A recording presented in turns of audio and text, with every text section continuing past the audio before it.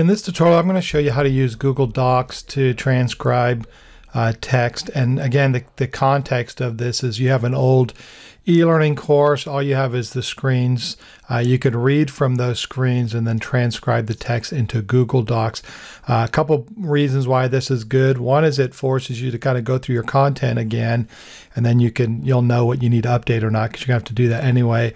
And then the other thing is as you're reading it, you kind of get a better tone uh, for the course. So you may want to change uh, some of that in your course as well. So once you've got it in Google Docs, though, then you can share that uh, with other people to review it. So all you need to do is open up a Google Doc, uh, come up to Tools, and you're going to do voice typing. Now, each of these tools have uh, different types of uh, ways to control what's being said, but we'll see how this works. So we're going to do voice typing, and we're going to click this.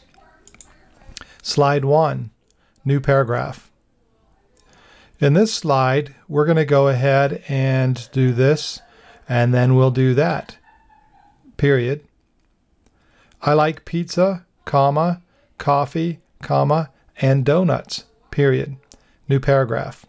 Slide two, new paragraph. So you can see how this works, period. All right, so you can see it works pretty well, right? And once you understand how it records and what you can do, you can see it's pretty quick.